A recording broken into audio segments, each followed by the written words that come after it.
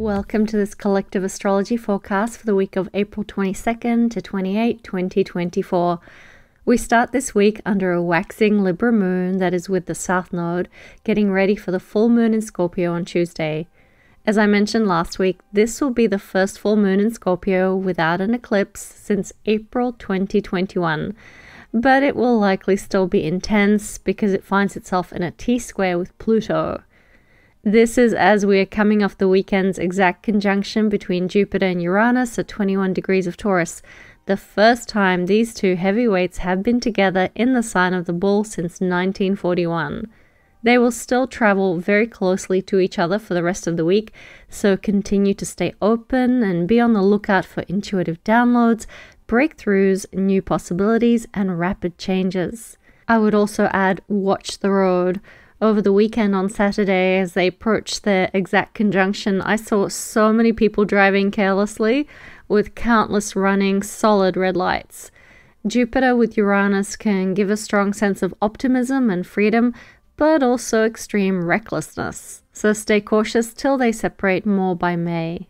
Therefore, heading into this week, we are still under the strong influence of this major conjunction, with its opportunities for great expansion but also dramatic change. On Monday, with the Libra moon sitting with the South Node and opposing Mercury in the North Node, things could be very sensitive. We might find ourselves longing for harmony and relationships of the past. Hearts and minds are likely to be at odds with the logical side of us saying whatever we're holding on to is likely something that we need to let go of, perhaps a codependency or people pleasing side of ourselves, or a relationship that's limiting our freedom and future. We're preparing ourselves for the intense energy of the upcoming full moon in Scorpio, which encourages us to delve deep into our emotions and transform what no longer aligns with our true selves. So, in the next 24 hours leading up to this lunation, take the time out to reflect on what needs releasing, but be aware there might be a strong push and pull and possible friction with partners or within us. The waxing almost full moon will also oppose Chiron and Venus as the day goes on, so be very patient with yourself and others. Some self care might be in order. On Tuesday, April 23rd, just before 5 pm, we have the full moon in Scorpio.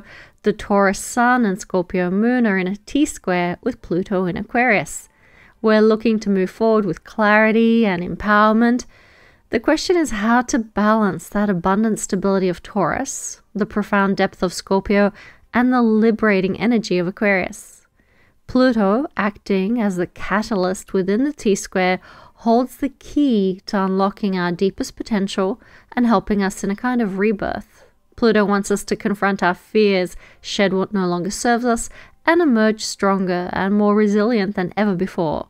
Those with fixed sign placements in the first decan, especially around those four degrees of Scorpio, Taurus, Aquarius, and Leo, will be locked into the T square, with Leo placements in very tense fixed grand cross power dynamics, and issues of control will be very strongly challenged for these signs. This is an intense full moon which wants us to be the ultimate alchemists. Jupiter and Uranus are still close to each other and will both be at that 22 degrees by Tuesday night, and Mercury is getting ready to station by the North Node. It will be as close to the North Node as it will get on Wednesday night. So, right now, there is inspiration abounding and so many doors to our future are opening.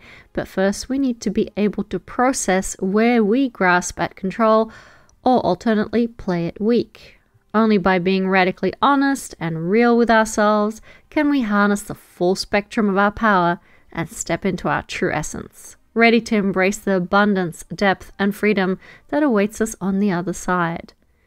On Thursday, April 25th, just before 6 am, Mercury stations direct. Slowly but surely, our minds and communication will begin to get back on track. On Thursday, though, just watch out for delays and double check everything. Give yourself lots of extra time to get where you need. The post retrograde shadow will end on May 13th, so over these next two weeks or so, we will be making a final return visit to some of those areas of communication and contracts that started around mid March. As we finish out the week, Mars will be very close to Neptune in Pisces, the conjunction exact on Sunday night. It can be an inspired combination, getting us working towards our ideals, but it can also be draining and even self defeating. Saturday evening could be especially elusive, frustrating, or exciting, depending on your preference and who you're surrounded by. The Sagittarius moon will be squaring that Mars and Neptune combination, but will at the same time trine Venus in Aries. It could feel like stumbling around a seaside attraction in a fog, unsure of what might be around the next corner. Or perhaps it's exhilarating to go on this little adventure. Be open to fun, but maybe watch for ideological battles, drive carefully, and be cautious about what you consume, especially beverages. Sunday night, the conjunction between Mars and Neptune will be exact at 28 degrees of Pisces.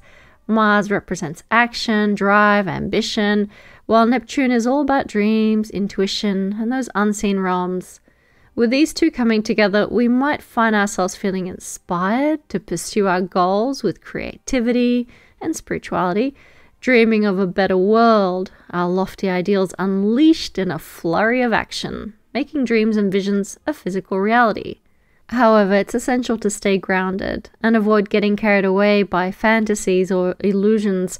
This conjunction is also known to have the opposite effect at times, draining physical life force, where it feels like nothing can be done.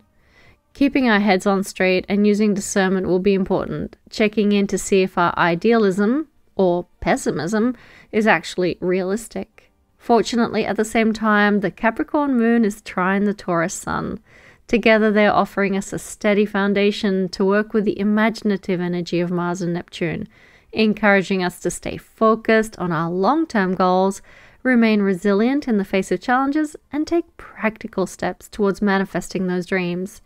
It's a supportive combination that helps us stay grounded while still tapping into all that creative potential. Next week, just before dawn on Monday, April 29th, Venus enters one of her home signs, Taurus a chance to relish all the beauty of this earth, our bodies, and the comforts of life. The very next day, on Tuesday, April 30th, Mars enters its home sign of Aries, bringing drive, ambition, and a lot of energy. So, for the next month or so, the dispositors of the South Node and North Node, as well as the archetypal energies of the feminine and masculine, will be in their respective home signs. This should be a wonderful shift that helps us get in touch with our own inner masculine and feminine sides, smooth relationships, and help us to attract as well as go after what we desire. And on Thursday, May 2nd, Pluto stations retrograde.